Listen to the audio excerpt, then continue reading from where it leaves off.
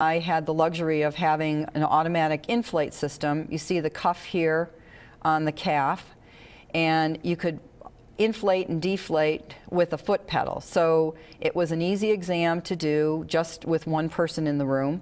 In addition, I wasn't always leaning over and having to do different um, augmentation and straining my back. So it really worked nicely for me. The patients were very comfortable.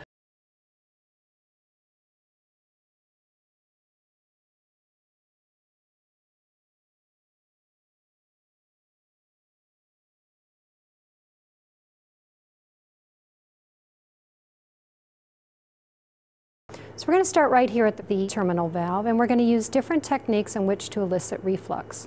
The first technique is going to be using Valsalva. Joe, deep lung breath, hold it in and bear down and breathe. Okay. So now we'll try a different technique and I'm going to be using the rapid cuff inflation device, rapid inflation and deflation.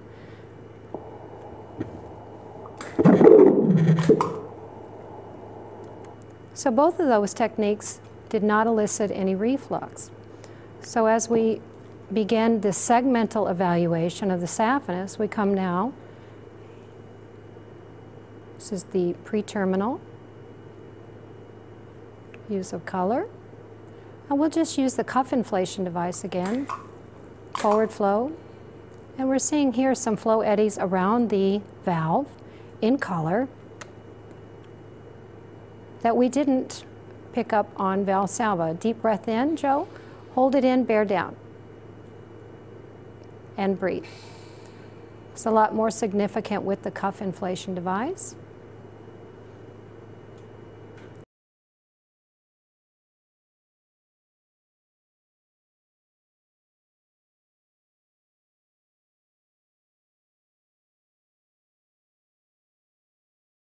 So as we examine this patient in our typical fashion with the color.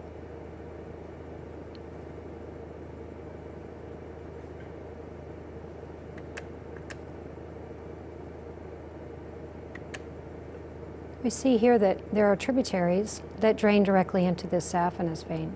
I will use my cuff inflation device